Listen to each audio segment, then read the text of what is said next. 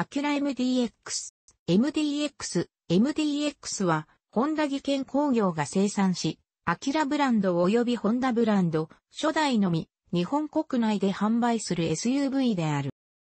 二代目北米仕様オデッセイ、日本での販売時の名称、ラグレートをベースにしたモノコックボディの7人乗り SUV で初の3列シートを持つ。プラットフォームはグローバルミッドサイズプラットフォームを使用し、ホンダ R&D アメリカズで企画、開発された。当初はホンダパスポート、イスズウィザード、アメリカメイス、ロデオの OEM 社の後継として、ホンダブランドとして企画されていたが、当時大ヒットしていたレクサス RX、日本名トヨタハリアーに追従する形で、高級 SUV として投入され、アメリカのみで展開していたアキュラ SLX、イスズビッグホーン、アメリカ名の OEM 社、ホンダホライゾンと置き換えられた。コンセプトはサウスウエスト。ショートノーズで背の高いデザインは動物の際をイメージしている。インテリアテーマはサンタフェスタイル。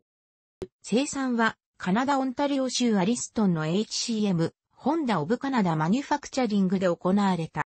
ラグレートベースであるが、合成を高めるための4つのピラーを環状にした4リングシェル構造や 4WD 回の対応など、プラットフォームから大きく改良されている。ランプブレークオーバーアングルを確保するために、ホイールベースは短く、3列目シートは、大人が乗るには、ヘッドクリアランスは十分だが、足元が高く窮屈である。それでも3列目シートは注目を集め、モータートレンド誌のユーティリティオブザイヤーの受賞理由の一つともなっている。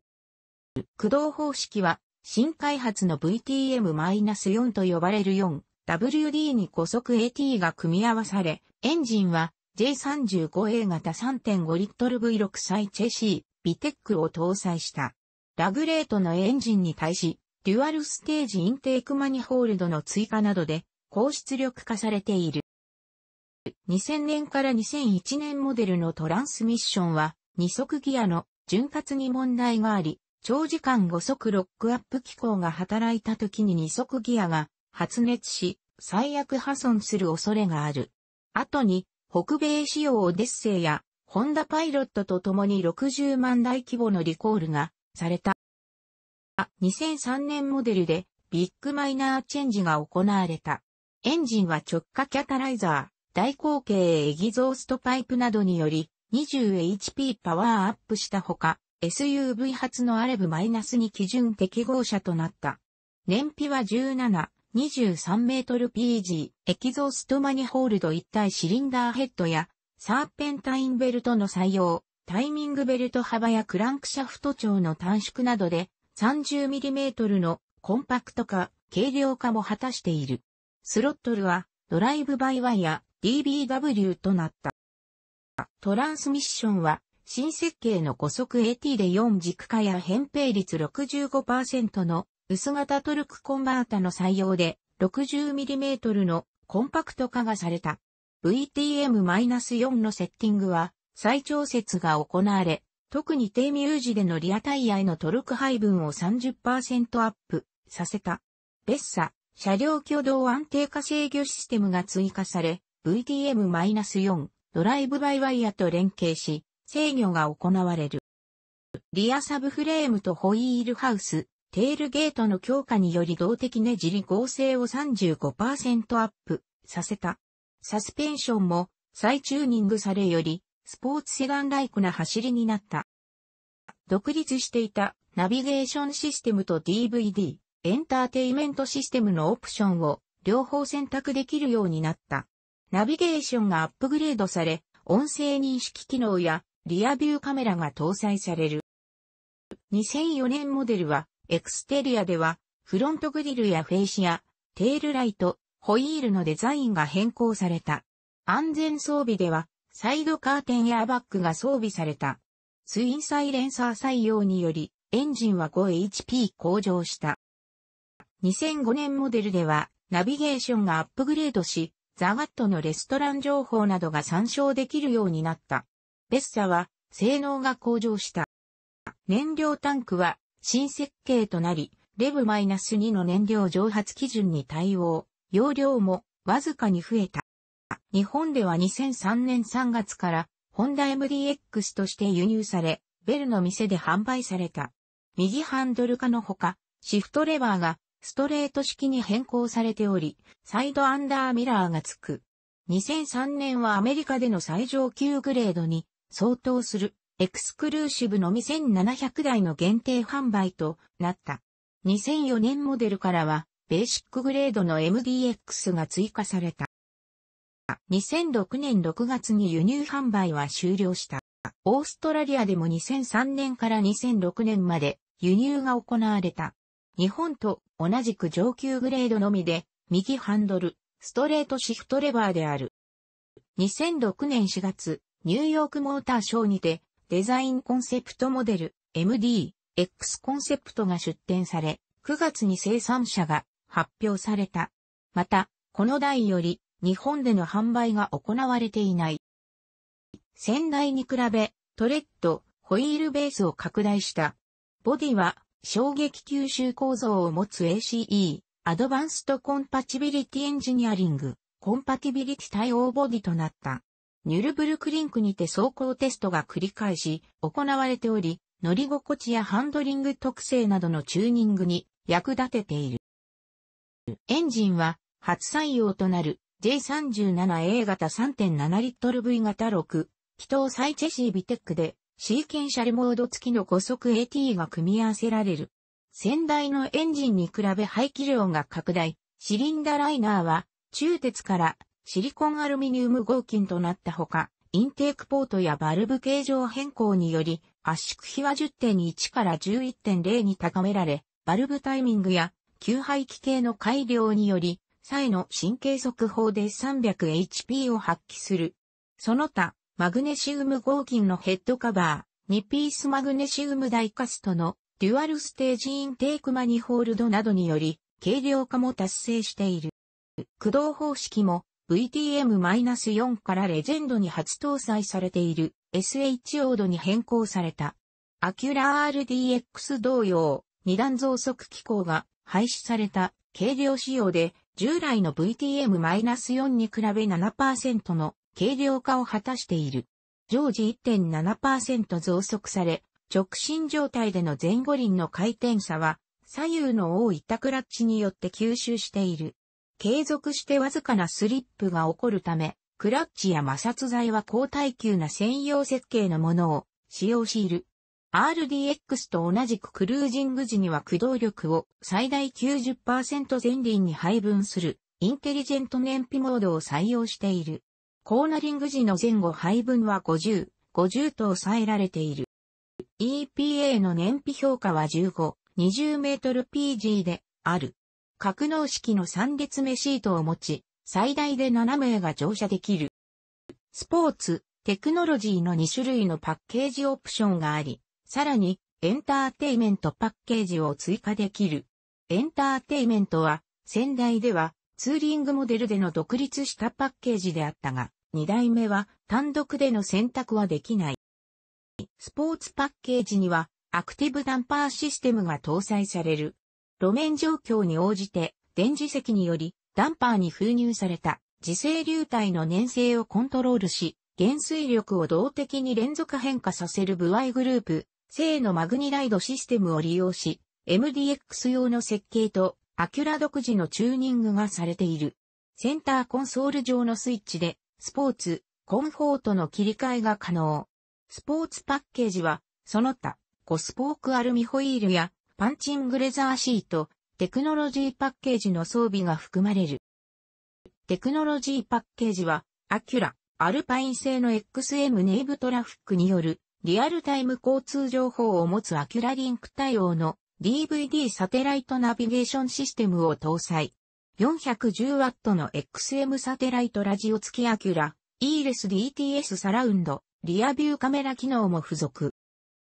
エンターテイメントパッケージには、フリップダウン9インチモニタや2つのワイヤレスドルビーデジタルヘッドフォン、2列目シートヒーター、センターコンソールのシルバートリム、パワーテールゲートなどが装備される。パワーテールゲートはキーからの遠隔操作、ゲートハンドル、運転席のドアのスイッチで開閉が可能。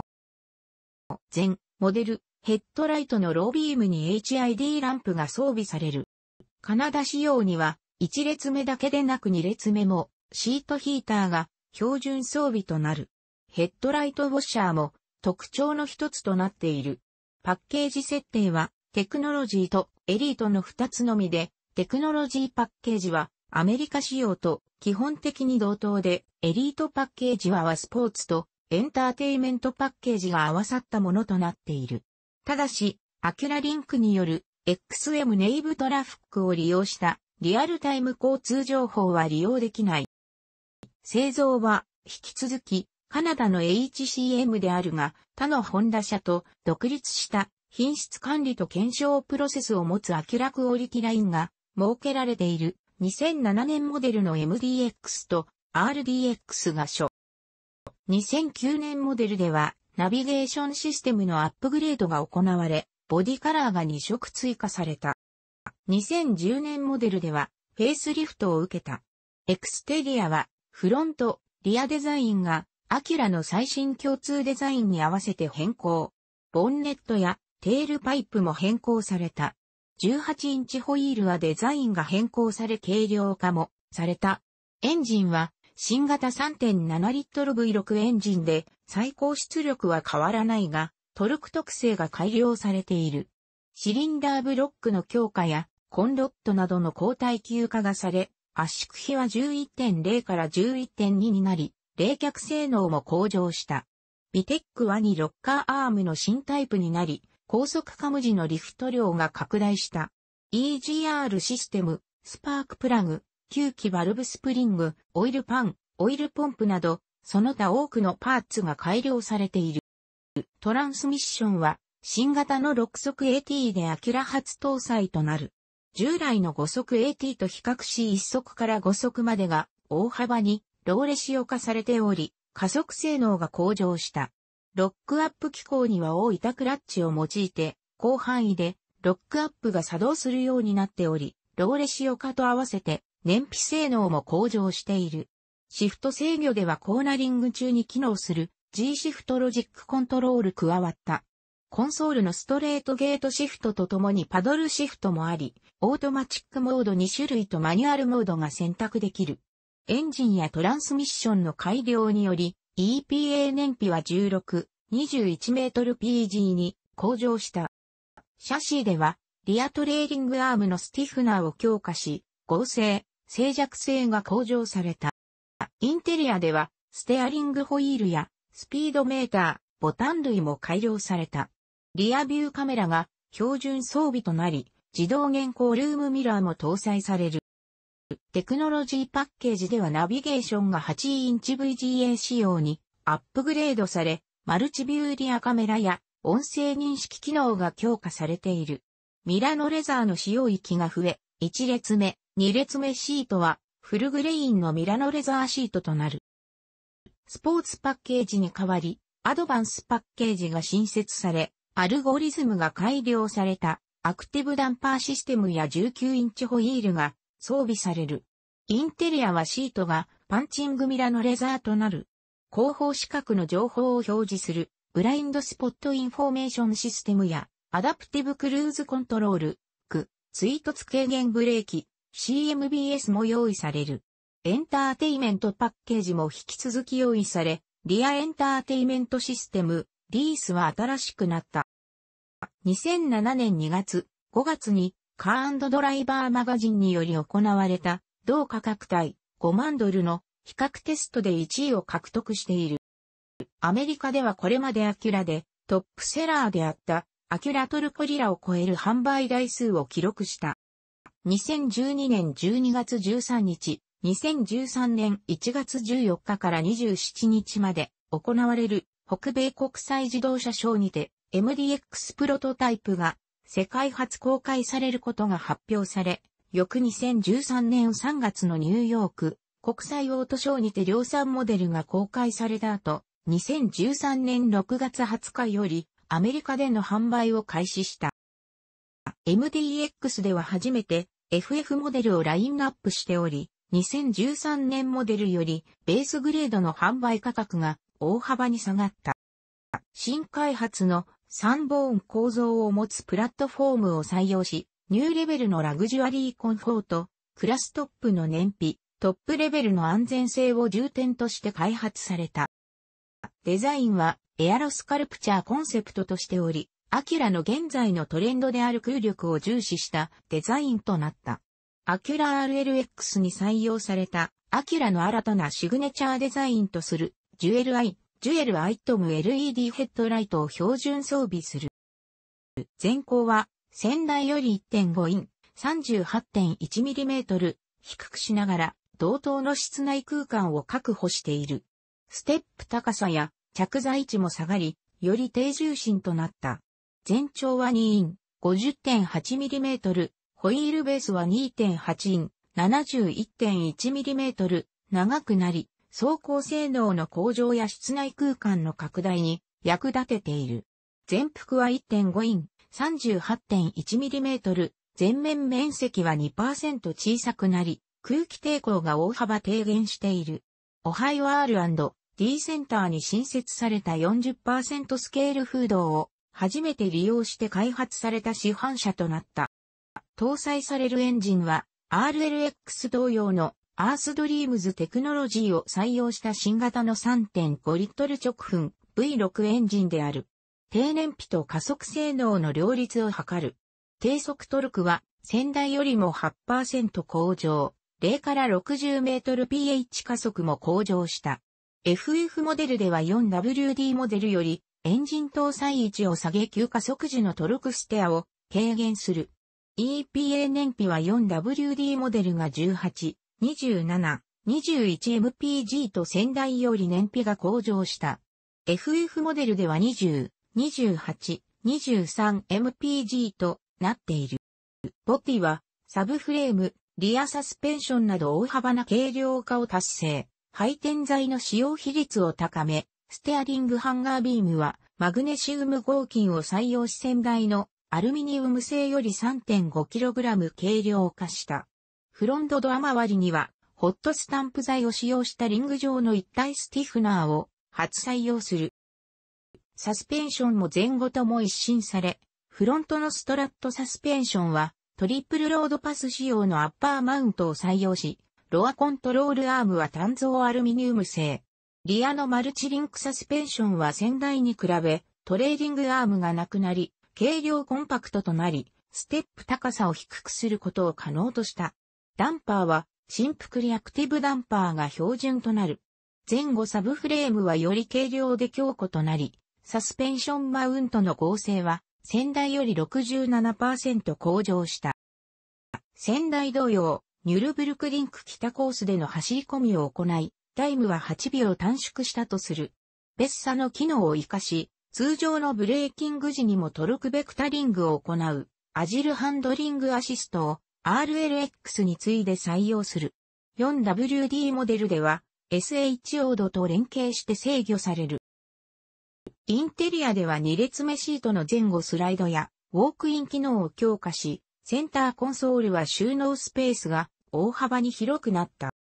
MDX や競合車種のオーナーへのリサーチの結果を反映し、新型ではロードノイズの低減など NVH 性能向上に力が入れられた。グレードは FF とオードそれぞれにベースグレード、テクノロジーパッケージ、テクノロジーエンターテイメントパッケージ、アドバンスエンターテイメントパッケージの4種類を用。テクノロジーパッケージでは、ナビゲーションや e レスプレミアムオーディオシステムなどを搭載。テクノロジーエンターテイメントパッケージでは、天井部の9インチディスプレイを持つ、リアエンターテイメントシステムがつく。アドバンスエンターテイメントパッケージはさらに、追突被害軽減ブレーキ、レーンキープアシストシステム、アダプティブクルーズコントロール、などの先進安全層を搭載し、専用インテリアや天井部のディスプレイは16.2インのウルトラワイドタイプになる。生産はカナダオンタリオ州の HCM からアメリカアラバマ州の HME に移管された。2015年2月発売された2016年モデルでは、トランスミッションが6速 AT からアキュラ TLX に初搭載された急速 AT に変更された。従来の6速 AT よりも軽量で変速時間が25%短くなった。4WD モデルでは SH オードが TLX 同様の電磁クラッチを使わない新型となった。しかしながら EPA 燃費では FF モデルが19、27、22メートル PG、SH、オードモデルが18、26、21メートル PG となっており、2015年モデルより最大1メートル PG 低くなっている。安全装備なども最新のものにアップグレードされており、低速追従機能、LSF 付きアダプティブクルーズコントロール、追突軽減ブレーキ、前方車接近警報、FCW、車線逸脱警告、レーンキープアシストシステム、 LKAS、路外逸脱抑制機能、RDM、ブラインドスポットインフォメーション、ダイナミックガイドライン付きマルチビューリアカメラ、リアクロストラフィックモニターを、 AcuraWatch という名で、パッケージ化して、ベースグレードからオプションで付けられるようにな。アッケラワッチの一部のルコス、LDW、FCW は、テクノロジーパッケージで、標準装備、アッケラワッチは、アドバンスパッケージには、標準装備される。当初は、2008年秋頃日本に、アキュラ店が発足する際に、2代目が投入予定となっていたが、日本国内での自動車新車販売台数の長期低迷により、アキュラ店発足が2010年以降に延期されたため、合わせて販売も延期されたとされている。しかし、その後世界的な金融不安が訪れ、アキュラブランドの日本導入計画そのものが白紙撤回となったため、今後の動向は不透明となった。楽しくご覧になりましたら、購読と良いです。クリックしてください。